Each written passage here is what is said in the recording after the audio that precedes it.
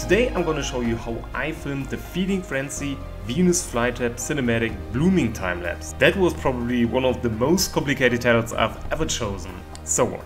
This is one of my favorite shots. It somehow looks as if a very small drone is flying through the leaves of the Venus flytrap. How's that possible? The answer is pretty simple. You need a slider and a very special macro lens. The Laowa probe lens, which is also called snorkel or sniper lens.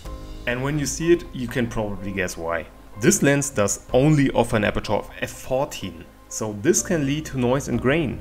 But there are two solutions. Solution number one, use extremely bright light or use a slider which is able to move very slowly. This allowed me to shoot 4K video with a shutter speed of only a tenth of a second without getting motion blur. The slider I used to shoot this video can be controlled by an app and delivered pretty solid results. Okay, what about the time lapse? I took images for weeks. I really wish that it would have been a little bit warm in the room I took the images so that the plant would grow a little bit faster.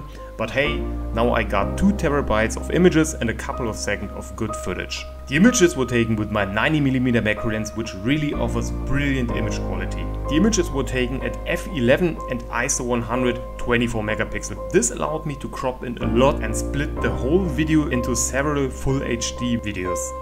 The background appeared black because the distance between the plant and the light source was pretty short. All images were taken in a room which was completely dark. There was just one light source to prevent all kind of disturbing effects like flickering because of changing light conditions. Because the flower grew pretty high, I had to adjust the position of the softbox a couple of times. Maybe it does not look very professional, but the results are pretty cool. For this shot, I had to change my setup a little bit. The first couple of weeks I filmed just from the side, but when the flower started opening up, of course I needed to get some footage from the top.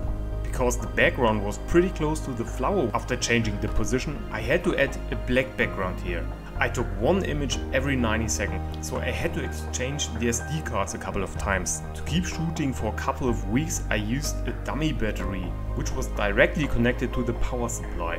Have you any questions about how I film my macro time lapse? I really hope that I could give you some inspiration or ideas for your next video or photo project. What would you like to shoot in time lapse? Or what would you like to see next on my YouTube channel?